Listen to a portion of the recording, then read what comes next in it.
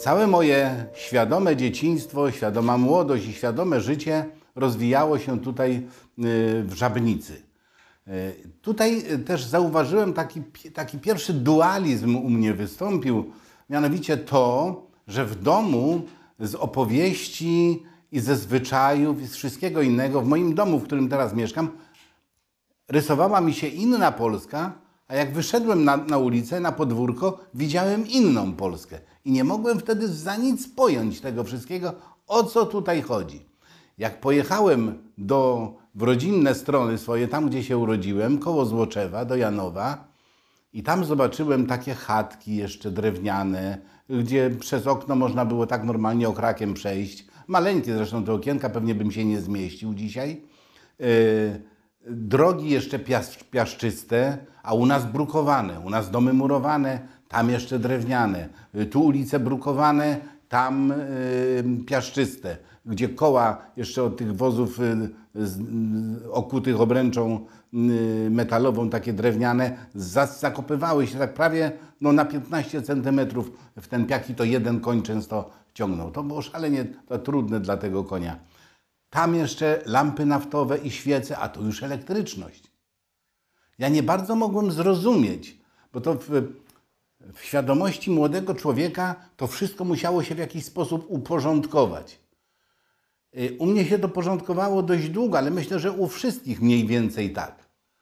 Y, Ja wiem tak z opowieści kolegów, że oni przez 10-15 lat nie mogli się oswoić z tym, że u siebie to oni są tam gdzieś, a tutaj to są tak troszeczkę na razie. Chociaż jakby u mnie tamtego czegoś, czy tamtego terenu y, y, nie było, bo ja już tutaj, ta, ta moja świadomość się kształtowała w tym, na tych ulicach, w tych domach, wśród tych ludzi, sąsiadów, którzy tutaj przyjechali. Dopiero po jakimś czasie zacząłem sobie uświadamiać, że to są tereny niemieckie, bo jak myśmy się w szkole uczyli, że tu historia Polski, a tutaj tacy bohaterowie, tacy bohaterowie mają swoje, a tutaj żadnego śladu na cmentarzu. No jak kielicho, o co chodzi? No nic nie ma. Jak się tutaj przekonać? No, no jakaś dziwna ta Polska tutaj była. No i trzeba było czasu żeby zrozumieć, że. Bo do mnie wtedy nie docierały takie hasła bardzo ym, ogólne, że myśmy tu nie przyszli, myśmy tu wrócili. Ja dzisiaj rozumiem, że to były słuszne hasła w tamtym czasie. Bo żebyśmy nie mieli tak zwanego moralnego kaca, że postąpiliśmy tak samo jak, jak najeźdźcy, jak Niemcy, jak okupanci i przyjechaliśmy tutaj, zabraliśmy im y, ziemię, tak jak zabrano nam nasze na wschodzie, no byłoby to tak nieelegancko. Więc te hasła wtedy bardzo pasowały i ludzie mieli tak, mm, czuli się usprawiedliwieni troszeczkę, że y, to, co zrobili, że tutaj jakby przyjechali i mają do tego pełne prawo. Ale powoli czas płynął, ludzie dojrzewali, okrzepli. Tutaj to była wieś dla mnie wtedy fantastyczna. Zresztą dla takiego chłopaka, co się na, na stojąco wchodzi pod stół, to wtedy wszystko jest duże, potężne. I ja tak to wszystko odbierałem. To mi się bardzo... Fabryka y, tutaj, to przemysł, to takie dla mnie niepojęte było. To coś... Ja się jakby w, ta, w takim środowisku robotniczo-chłopskim wychowywałem. To, tu była taka subkultura jak rybacy łodziowi odrzańscy, której w innych wsiach, tam gdzieś w interiorze, czyli w głębi lądu, nie było. Tam, gdzie nie było wody, jezior i innych cieków. Tutaj to wszystko się zdarzyło. Ta wieś ta, także tętniła takim życiem kulturalnym i społecznym. Tutaj były dwie czynne świetlice, były mm, zespoły y, przygrywające do tańca, ale także wielu muzykantów, którzy grali tylko w domu. Tu tworzyło się takie życie kulturalne, później powstało koło gospodyń wiejskich, powstał teatr wiejski, stałe kino. Nie każda wieś miała stałe kino, a myśmy tutaj mieli stałe kino. Dwa razy w tygodniu seanse. W niedzielę dwa seanse. I to przez kilka lat trwało. No, mieliśmy tutaj zespół mandolinistów w świetlicy. Tutaj między innymi ja, że tak powiem, zainfekowałem się pozytywnie muzyką, co później jakby się u mnie rozwinęło i też gdzieś wywindowało mnie w szeroki świat. Tutaj zacząłem rozumieć te dwie Polski. Tutaj kobiety w szczególności stworzyły takie mateczniki polskości w każdym domu, bo zazwyczaj przyjechali tutaj ludzie bogobojni, ludzie wierzący. I w każdym domu była taka ostoja polskości, oparta o wiarę, oparta o jakieś swoiste przywiązanie do ojczyzny. To ja jeszcze do dzisiaj nie bardzo mogę to zdefiniować i wytłumaczyć, ale coś takiego było. Polska to było coś takiego, co człowiek bardzo, bardziej emocją odbierał niż rozumem.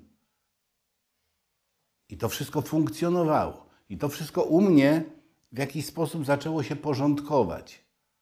Że wiedziałem, że to były już ziemie, już wtedy wiedziałem, że to były ziemie niemieckie, gdzieś w latach 60., 50., koniec 50., że to były ziemie niemieckie, że te wszystkie budynki to są budynki, które, które nie, nie Polacy budowali, tylko Niemcy budowali, że każdy ten dom tutaj ma swoją historię, tylko myśmy tej historii nie znali, bo nikt nas tej historii nie uczył.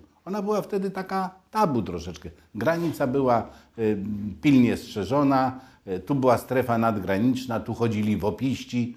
Y, tutaj było wiele zabawnych w związku z tym sytuacji, ponieważ jak chodzili w opiści, to oni szczególnie takich młodych chłopaków brali i mówią: Słuchajcie, słuchajcie, jakby się tu ktoś obcy pojawił, to wiecie, to jest szpieg. To trzeba szybko nam powiedzieć. No i tu było wiele różnych takich zabawnych sytuacji, że ktoś tam się pojawił, obcy doniesiono i Bogu ducha winnego człowieka przymknęli na dwa, trzy dni i zanim się wszystko wyjaśniło, no to ten się najadł strachu, a, a to było, no ale myśmy wtedy szpiegów szukali.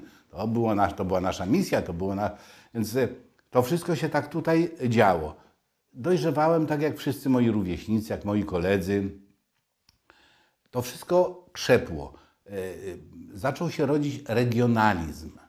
Ów regionalizm, jeszcze pojęcie wtedy takie mało sprecyzowane, mało istotne e, dla wielu ludzi, ale jednak bardzo potrzebne. Bo tenże regionalizm miał dookreślić ten nasz region, to Pomorze Zachodnie. To się początkowo różnie nazywało, ale już mądrzy ludzie powoływali różnego rodzaju instytucje. To były pozarządowe instytucje, ale one działały na rzecz jakby przeorientowania naszej świadomości, że my tutaj żyjemy w konkretnym regionie Polski. Aczkolwiek wtedy jeszcze do 70 roku, jak wiemy, to z tą Polską tu różnie bywało. Myśmy podlegali pod jurysdykcję biskupa berlińskiego, chociaż mieliśmy swojego zarządcę w, w Gorzowie. Tutaj przecież e, jeszcze nie była uznana tak naprawdę przez, przez jedne i drugie Niemcy granica na Odrzeń. Dopiero w latach 70. to wszystko się zdarzyło. Wtedy dopiero papież mógł ustanowić dwie diecezje, diecezje tutaj, e, szczecińsko-kamieńską i koszalińsko-kołobrzeską od, tak naprawdę od wtedy zaczęła się Polska. No ale dla nas ta Polska była tu już wtedy. Ta Polska była u mnie w domu, bo przecież y, tato Polak, mama Polka, w domu się mówiło po polsku, babcia Polka. Inna niż tam w centrali, co ja później dopiero zrozumiałem. Oczywiście e, od samego początku e, był problem z gwarą, ponieważ e, osadnicy przyjechali tu z różnych regionów. E, akurat tutaj przyjechało mało kresowiaków, ale ci, którzy na przykład byli na Sybir zesłani, oni już mieli tę naleciałość taką i oni mówili śpiewnie. Ale nie przyjechało to e, jakby tak jak w całej Polsce, jak na całym Pomorzu. Żadna z grup tutaj nie zdominowała nie narzuciła jakby swojego języka. W niektórych wsiach tak mieliśmy. Tutaj w, w Żabnicy nie. Tu się udało. Tutaj, tak jak na całym Pomorzu, najwcześniej yy, wykształcił się język literacki. Norwidowski, Miczki, Mickiewiczowski, język, który znaliśmy z literatury. Szkoła się do tego ujednolicenia przyczyniła, Kościół się przyczynił, ale także i to sąsiedztwo. Ja sam pamiętam po sobie, że u mnie w domu było, babcia mówiła troszeczkę innym językiem, e, mama mówiła, no tak jak, jak wszyscy mówili, na przykład u mnie na później mówiło się zaś. Jak ja w szkole mówiłem zaś, no to się wszyscy ze mnie śmiali, E, i nawet taką ksywkę miałem zaś. Przezywano mnie. No więc tak, ale to, to, to trwało krótko. ten język się w miarę szybko, jak na całym Pomorzu, to my nie jesteśmy wyjątkiem, ujednolicił się. Dzisiaj wszyscy mówią to tu pięknym literackim językiem e, i, i, i, i, tym, się, i tym się właściwie szczycimy. Można boleć troszeczkę nad tym, że nie mamy tego kolorytu i nie, nie, nie słyszymy, jak sąsiad mówi, gdzieś tam nie ma zuży troszeczkę, albo ci tam z centralnej Polski nie mówią po swojemu i tak. Ale z drugiej strony szczycimy się tym, że jesteśmy tak literacko yy, czyści. Pamiętam, jak powstawała szkoła tysiąclatka. Ta wieś się przeobrażała, aczkolwiek ona do dzisiaj jeszcze nie osiągnęła takiego stanu sprzed 1939 roku. To była wtedy y, w czasach niemieckich wieś bardzo usamodzielniona. Tu był dentysta, stomatolog, tu była, były y, dwie, dwa gasthausy, dwie, dwie y, tak, dwa zajazdy, dwie gospody czynne. Jedna mogła 300, a druga 500 osób obsłużyć. Tu była prywatna przystań dla statków pasażerskich, z których także po wojnie żeśmy korzystali, bo statkiem się dojeżdżało do, do Szczecina, bo innych możliwości połączenia nie było. Istotne znaczenie dla mieszkańców miała tutaj fabryka, fabryka słoi destylacji drewna. To była matka żywicielka. Tutaj prawie wszyscy mieszkańcy pracowali w tej fabryce. E, tutaj e, ta fabryka porządkowała też życie codzienne tych mieszkańców, bo tu syrena fabryczna gwizdała czy buczała, jak to się mówi, o pół do szóstej rano, o szóstej, a więc kiedy iść do pracy, kiedy kończyć pracę, kiedy gospodyni ma obiad stawiać na, bo mąż przyjdzie z pracy. To wszystko było podporządkowane pod rytm pracy fabryki. Władze polityczne zdecydowały, że trzeba w zasadzie pozbyć się wszelkich e, e, nośników czy śladów historii niemieckiej, co było jakimś takim zwariowanym pomysłem, bo przecież poprzez to historii się nie zmieni i to jakby trzeba było mieć tę świadomość. Tym niemniej wyrządzono wielkie. Zaczęto jakby pozbywać się wszelkich śladów tutaj jakby nie, oczywiście oprócz architektury, no domów na szczęście nie rozwalano z przyczyn oczywistych, ale ów pomnik który tutaj stał, czyli ten pomnik synków, czyli pomnik, y, który, który Niemcy postawili swoim poległym podczas I wojny światowej. Sam pomnik wywieziono i gdzieś go zakopano. Tutaj mieszkańcy, niektórzy wiedzą, gdzie to jest. Y, bardzo mi się podobała tutaj wypowiedź jednego z mieszkańców, że no przecież po co to niszczyć? No miejsce takiego pomnika, jeżeli już My wiemy, że mm, jakby przestrzenią społeczną zawiaduje państwo i państwo jest jakby decyduje o tym, co ma gdzie stać i tak dalej, i tak dalej. To wszystko jest jakby oczywiste, ale miejsce dla tego e, pomnika powinno się znaleźć na cmentarzu. Bo bardzo mi się ten wywód tego pana podobał, bo mówi, a czy przypadkiem myśmy po przegranej przez Niemców I wojnie światowej nie powstało państwo polskie? Podobnie było z cmentarzami. Podobnie było z cmentarzami. Mieliśmy dwa cmentarze tutaj. Jeden, który pozostał do dzisiaj e, i ten cmentarz my używamy. Tam było kilka grobów, ale był jeszcze tak zwany stary cmentarz, który także zniszczono i gdzieś pewnie to był początek lat 70. Z pychem zrównano wszystko. E, te nagrobki gdzieś podobno zakopano.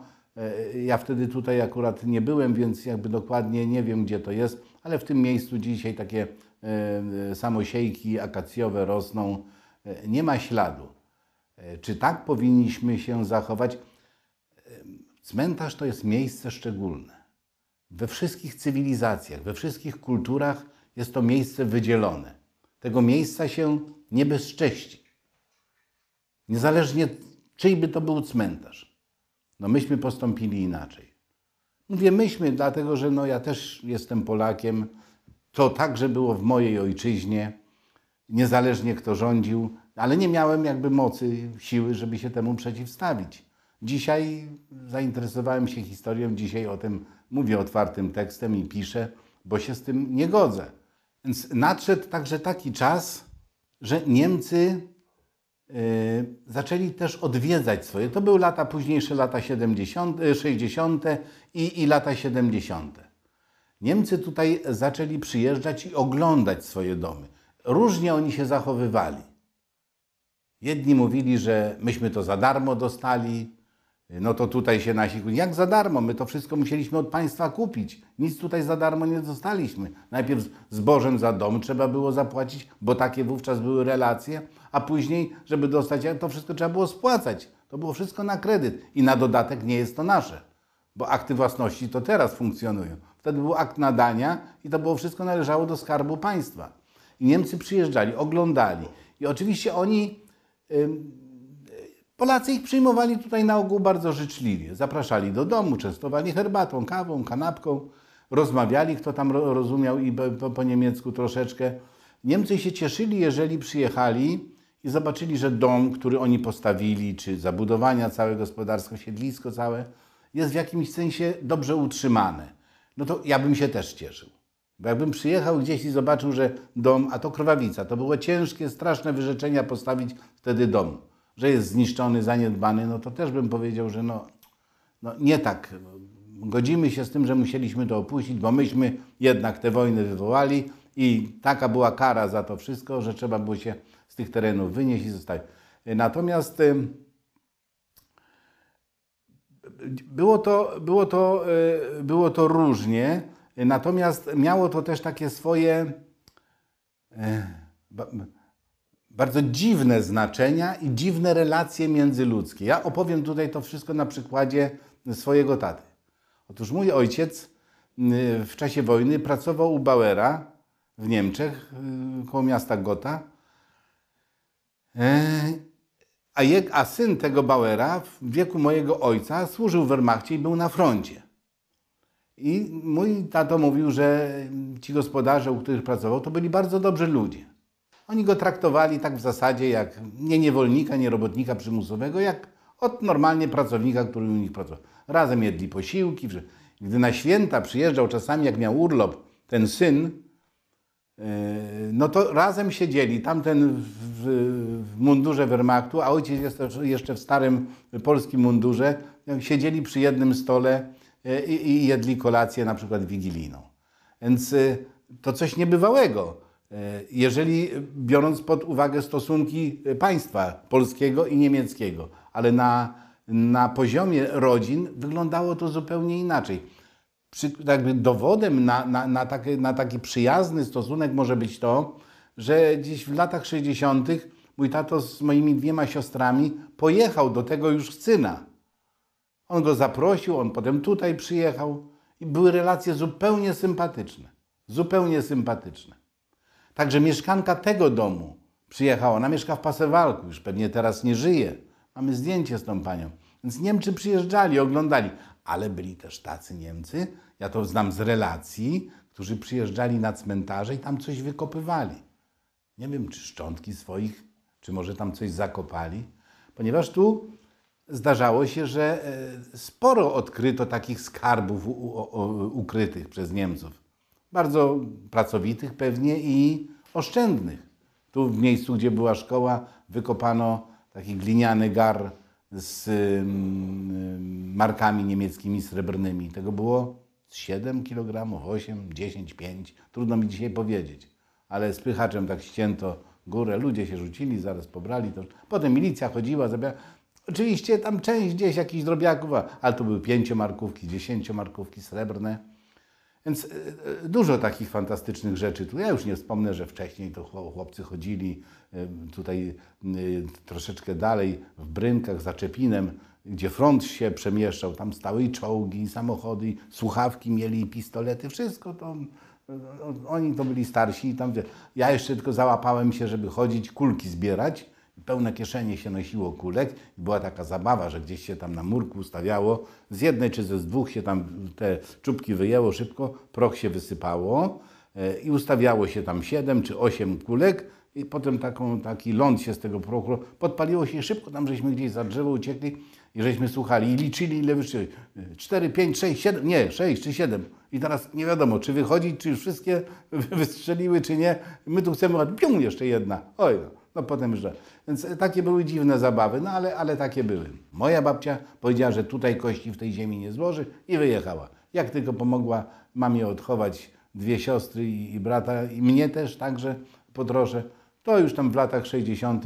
wyjechała stąd. Z całą odpowiedzialnością mogę powiedzieć, że ja jestem tutejszy, że u mnie wykształciła się tożsamość Pomorzanina, zachodnio-Pomorzanina, tożsamość mieszkańca Żabnicy, powiatu gryfińskiego, gminy Gryfino, ale nade wszystko Żabnicy. Ja się z nią utożsamiam, to jest moja wieś. E, Tutaj na cmentarzu spoczywają moi rodzice i mój jeden brat. I pewnie ja też tutaj e, e, pozostanę. Więc moja tożsamość jest już jakby krystalicznie czysta. Ja już nie muszę niczego więcej szukać. Ja jeździłem dużo po świecie i tutaj wracałem, bo tu jest mój dom. Stąd się odbiłem, ale tutaj wracam. Tu żyję, tu jest mi dobrze. Tu mam wszystko, co mi do życia potrzeba. Niczego więcej nie potrzebuję. Mam tę świadomość, że jestem y, mieszkańcem Pomorza Zachodniego, że jestem mieszkańcem Żabnicy, wsi cudownej, chociaż zaniedbanej, zapomnianej, ale dlatego może jak będzie później odbudowana i później rewitalizowana, to będzie bardziej nowoczesna. Taką mam nadzieję.